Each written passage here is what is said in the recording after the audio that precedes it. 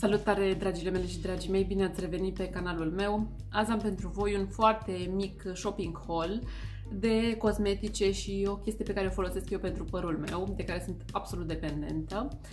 M-am uh, gândit să vă arăt ce mi-am cumpărat uh, la ultima comandă pe care am făcut-o la notino.ro în ideea de a-mi face un mic cadou de Sfântul Valentin. Asta pentru că eu cu Vlad, pe lângă că sărbătorim ziua îndrăgostiților, cum suntem noi așa foarte drăgostiți, și împlinim 5 ani de căsătorie de Sfântul Valentin, nici nu știu exact care este asta, 5 ani de căsătorie, cred că lemn, oare? Parcă lemn. O să caut eu pe internet ulterior să văd exact ce sărbătorim. Dar asta vreau să vă arăt ce mi-am făcut eu cadou. Nu cred că eu cu Vlad o să ne facem ceva cadouri prea impresionante acum în perioada asta, așa că mi-am cumpărat ceva cu ocazia um, celor 5 ani de căsnicie. Sunt niște chestiuni care s-ar putea să vă intereseze și pe voi. De am decis să vă arăt ce mi-am cumpărat. Și în primul rând vreau să vă spun că dacă vreți să faceți un cadou de Sfântul Valentin apropiaților voștri, fie că este vorba despre parteneră sau partener, găsiți pe site-ul Notino o secțiune specială de cadouri de Sfântul Valentin și două secțiuni speciale cu cadouri pentru el și pentru ea. Și încă o chestie foarte faină care se întâmplă pe Notino, puteți să gravați sticluțele de parfum cu mesaje scurte, dar așa ceva foarte simpatic mi se pare, nu știu, sau numele, sau I love you, sau te iubesc, dar haideți să nu lungesc uh, introducerea foarte mult și să vă arăt ce mi-am cumpărat. O să încep cu un parfumel pe care mi-l doream de ceva vreme. Este vorba de um, Love in Paris al lui Nina Ricci. Nina Ricci are niște parfumuri foarte interesante, așa și deosebite față de, nu știu, restul creatorilor de parfumuri. Uh, bineînțeles că și Nina Ricci uh, lucrează cu niște branduri acestea, lucrează cu diversi creatori de parfumuri și acesta este un parfum, uh, am avut o mostră mai de mult și mirosea așa foarte intens cumva, dulce, floral, fructat, dar în același timp sofisticat. Că de obicei parfumurile astea care miros așa dulce, floral, sunt destul de bănăluțe, mi se pare. Dar ăsta are o, nu știu, o ceva, un grad de nu știu ce miroase exact, chiar m-am uitat pe Fragranti ca să văd, zicea că Anason are notele de bază, notele de vârf, bujor, bujorul care mi-e place foarte, foarte, foarte mult. Și uh, mi l-am dorit, așa că mi-am făcut acum o mică plăcere, deși am foarte multe parfumuri, voi ați mai văzut, am pe YouTube-ul meu colecția mea de parfumuri, cumva pe asta mi l-am dorit și am zis ok, hai că-l adaug anul acesta, Probabil că o să fie singurul parfum care, pe care mi-l cumpăr anul ăsta, tocmai ca să încerc să... Știți că am, am zis că vreau să nu mai cumpăr așa de multe, să nu mă mai aliniez acestui cons, uh, curent consumerist. Așa că mi l-am luat pe ăsta și pe lângă că miroase foarte plăcut, așa un, nu știu, miroase frumos efectiv uh, și ține foarte mult. În general parfumurile pe mine nu prea țin, asta chiar ține, e, uh, nu mai știu dacă e apă de parfum sau de toaletă, apă de parfum, poate și de asta ține foarte mult. Tot rămânând în sfera produselor cosmetice care miros foarte bine, mi-am cumpărat tot de pe Notino o cremă L'Occitane cu bujor, Pivoine Flora, cred că este gama din care face parte. Și, nu știu, mie, de exemplu, mi se pare că a săruta mâna unei femei sau sărutul ăsta al, al mâinii femeii e un gest foarte senzual și foarte delicat și foarte intim în același timp. De aceea, de exemplu, când Vlad îmi sărută mâna sau, mă rog, suntem într-un moment în care mâinile mele se apropie de nasul și de fața lui, îmi place ca mâinile mele să miroasă bine și de asta îmi plac cremele de mâini parfumate și din tot ce am încercat până acum, foarte multe branduri de creme de mâini, tot timpul am una în poșetă, cele de la L'Occitane mi se pare că miros cel mai frumos și miros uh, pe termen mai lung, așa, pe câteva ore se simte mirosul ăsta și aduc o notă de prospețime întregului corp, să zic, când mâinile miros frumos. Uh, așa că, deși sunt scumpe, mi se pare că sunt foarte spornice pentru că hidratează bine și au un parfumul ăsta foarte intens. Ăsta e un tubuleț de cât are, nu știu exact cât are, 30 de mililitri și îl țin în poșetă și mă dau așa în timpul zilei și seara când mai ajung acasă și îmi place să mă parfumez un pic, adică fără să mă mai dau cu parfum, îmi place să mă fac cu, cu crema de asta de mâini. Pentru parfumarea casei, poate ați mai văzut prin videoclipurile mele cu cumpărături din astea de cosmetice și diverse lucruri pentru casă. Mi-am uh, luat niște tarte de la Yankee Candle. Am luat mai multe, dar din păcate nu le mai pe toate pentru că le-am împărțit și cu bona uh, fetelor. De la Yankee Candle am luat uh, Coconut Splash și Lemon Lavender. chestiunile astea le pui în acest suport, să vă arăt și suportul, că nu știu dacă l-ați văzut vreodată. Asta este suportul pe care îl am eu pentru ele, tot de la Yankee Candle. Este găsit și pe site-ul de la Nutinu, dacă intrați pe brandul Yankee Candle, o să găsiți uh, niște, ce, nu știu cum să le zic astea, farfurioare de genul ăsta, în care se pune o lumânare și în partea de sus, sus pui tarta.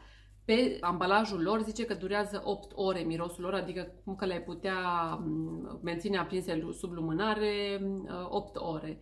Dar, de fapt, mie mi se pare că țin mult mai mult. Chiar de Crăciun am aprins una, nu mai știu ce miros era, ceva de asta, Christmas, așa, o tartă roșie era, și a ținut până după Revelion. Tot am drumul mult mai mult de 8 ore și mirosea în casă foarte tare. Aici am mai uh, aprins, am mai uh, topit una cu ceva pădure. Era oricum o să vă las linkurile tuturor produselor în descriere. Și miroase absolut senzațional, miroase așa plăcut, fresh, uh, chiar aduce un miros cumva de pădure așa de proaspăt în, în casă, în ciuda faptului că, că zice că e cu lumânare, cu căldură, cu foc, nu știu ce, dar uh, toate miros foarte bine. Și asta cu lemon lavender, chiar am avut tot de pe notina mea, am luat la un moment dat uh, un parfum din asta de casă cu bețișoare, cu ulei din ăla parfumat și asta cu Coconut Splash, mama Ioana Moldovanu, s-o și pe ea pe YouTube, ea mi-a făcut recomandarea cu Coconut Splash și mi-am cumpărat-o și îmi place foarte mult cum miroase. Nu miroase pur, pur și simplu a cocos, așa miroase a are baza de cocos, dar miroase foarte fain. Am adăugat pe lista cumpărăturilor și un demachiant de la L'Oreal. L-am mai avut odată, l-am descoperit tot, tot așa la mama mea. E un um, demachiant care are um, extracte de uh, iasomie și de trandafir. Mi se pare foarte spornic pentru că este o cantitate mare, 400 de mililitri și ce îmi place foarte mult la genul ăsta de ambalaj este pompița. Eu am o tehnică mai aparte de a mă demachia, nu știu dacă altele dintre voi faceți chestia asta, dar eu nu suport acele dischete demachiante pentru demachiaj. Mi se pare că năclești toată fața. Ce fac eu? Îmi ud, apa, îmi ud de fața cu apă, îmi pun un pic de demachiant în, pe vârful degetelor și după aia frec ochii, așa, și după aia mă mai spăl încă o dată, iar la final mă spăl și cu, am uh, un gel din asta de curățare de la Nux, îl folosesc acum, dar pentru demachiatul ochilor nu-mi place să folosesc acele dischete demachiante și oricum mi se pare că, nu știu, folosim ceva care nu este absolut necesar. Așa că pentru mine funcționează foarte bine, iar dacă demachiantul este bun cum e și ăsta de la L'Oreal, atunci chiar îmi îndepărtează machiajul ca lumea. Și cum ziceam, 400 de ml, are și pompița asta, eu sunt udă pe mâini, nu-mi place să mai iau și să torn, e mult mai simplu să apăs pe pompiță, o am chiar acolo la chiuvetă și mă demachez cu ea. Plus că îmi place ambalajul, mi se pare că e așa mai, nu știu, a little bit uh, luxury, poate din cauza că are dungulița asta aici așa cu rose uh, gold, dar uh, e un produs bun pe care o să-l uh, îl recumpăr a doua oară și cu siguranță o să-l mai recumpăr. Nu-mi place chiar tot timpul să cumpăr același demachiant, îmi place să ne mai diversific. Dar ăsta e un demachiant pe care acum l-am cumpărat a doua oară, așa că merită. Pentru păr mi-am uh, luat două um, mini sticluțe de la BioSilk de Silk Therapy se numește. Ăsta e un ser pe care eu l-am descoperit acum vreo câțiva ani, nu mai țin minte exact și ce îmi pare rău totuși că pe Notino nu găsesc varianta mai mare a uh, sticluței. Asta e de 15 ml și la un moment dat am cumpărat-o de pe site-ul lor o sticluță de vreo 60 de ml, deci echivalentul a vreo 4 sticluțe din astea mici. Uitați cum arată în sticluță. Uh, BioSilk e o companie americană care face tot felul de produse pentru păr, dar serul ăsta nu se compară cu absolut nimic, nici măcar cu Moroccan Oil. Mi se pare că e mult mai bun serul decât uh, cel de la Moroccan Oil. Cel puțin mie mi se potrivește pentru că eu am firul de păr foarte gros și am nevoie de un fel de antifriz, produs din acesta care să împiedice ridicarea firelor mici pe, pe cap. Și ăsta mi se potrivește foarte bine. Eu ce fac, îmi dau pe vârfuri mai mult și după aia, deci îmi pun în mână foarte, foarte puțin cât o bobă de mazăre, mi-l în, întind pe palme și după aia îmi dau pe vârfuri cu părul ud. Deci după ce mi-am uscat un pic cu prosopul, imediat după ce ies din cadă, și mă fac cu ăsta și mi-e mult mai ușor să coafez părul și nu rămâne așa, nu știu, uscat, uscat cumva. Nu rămâne chiar complet uscat pentru că am un balsam foarte bun tot de la ea acum, de la BioSilk, dar uh, pentru când mă coafez, și apropo să vă arăt, uh, urmează să vă arăt și o ferie de coafat pe care tot de la ei mi-am luat-o, când mă coafez merge mult mai ușor și stă părul ca lumea, cel puțin în prima zi stă foarte bine. Așa că ăsta e un ser pentru fetele care vă știți cu friz, mi se pare că funcționează mult, mult mai bine decât orice alt ser pe care îl găsiți pe piață. Și am încercat multe seruri de la multe companii, de la multe branduri și rămân fidelă ăstuia și așa nu este scump. O sticluță de 15 ml să-l încercați pentru început. Eu mi-am cumpărat două pentru că știu că folosesc tot timpul și e un produs care, într-adevăr, nu mi-a lipsit în ultimii ani niciodată. Și un ultim produs pe care vreau să vi-l arăt din comanda asta este o perie de păr Babyliss.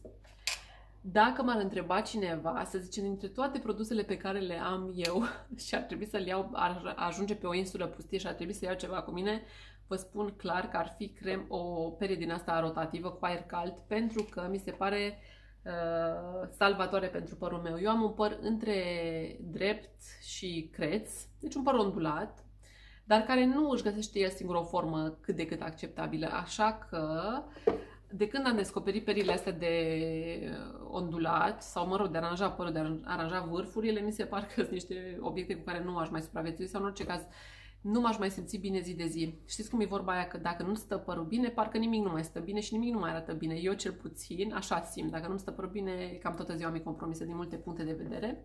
Știu că poate exagerez, că sunt probleme mult mai uh, grave decât cum îți stă părul, însă într-adevăr, nu știu, e o problemă a femeii moderne, să zic. Da, și mi-am cumpărat-o pe asta, de pe site-ul lor, am găsit-o la un preț bun și mi-a plăcut foarte mult faptul că are două perii. Dați să vă și arăt, ca să nu mai discutăm doar pe cutie. Asta e peria, așa arată. Am avut una în trecutul de la Babyliss uh, de genul ăsta. Asta este în schimb mult mai ușor și mult mai simplu, mai ales când ai părul lung. Chiar și zice că e pentru părul mediu și lung. Când ai părul lung, să o ții deasupra capului când uh, te faci. Eu îmi ridic șuvițele de păr ca să nu mi le aplatizez, să rămână volum la păr, la crește. Și are două perii de păr, una mai groasă, vedeți, cu un diametru mai mare și una mai subțire, care e super bună de făcut bretonul sau șuvițele mai scurte pe care, dacă ești tuns în trepte. Și ambalajul ăsta, sau cum să zic, ăsta, partea asta este, este de metal, e un metal cu ceramică pe deasupra și iar găurile chiar mi se pare că uniformizează aerul cald când îl când te usuci sunt unele care au doar pe mijloc, așa și poate, dacă de exemplu prinzi o șuviță mai mare, nu, nu știu, nu fac uniform, nu întind uniform sau nu buclează uniform. Și aspectul cu totul mi s-a părut foarte fain, cu auriu și cu negru, așa, chiar arată foarte bine. Plus că are un cablu destul de lung și la, pe cablu are și o gaică din asta ca să poți prinde cablul să nu zboare prin toată casa după ce te, după ce te usuci. Așa că asta mi s-a părut o, o cumpărătură foarte bună. Aveam nevoie de una nouă pentru că mi se aplatizaseră cu totul perii la cealaltă placă. Iar de scos, capetele se scoate foarte ușor, are un, un zumbruș aici prin care se fixează. Așa că sunt mulțumită tare și de peria asta de păr. Chiar mi se pare că mi-am făcut așa un cadou mai consistent cu peria și sunt, uh, cum vă ziceam, dependentă de, de acest produs. Cam asta ar fi cu micile cumpărături de Sfântul Valentin, ce cadouri mi-am făcut. Am vrut să vă arăt videoclipul ăsta acum pentru că dacă cumva vreți să comandați până pe, să vă ajungă produsele până pe 14 februarie, să aveți uh, timp ca să vă găsiți inspirația și să știți ce să comandați.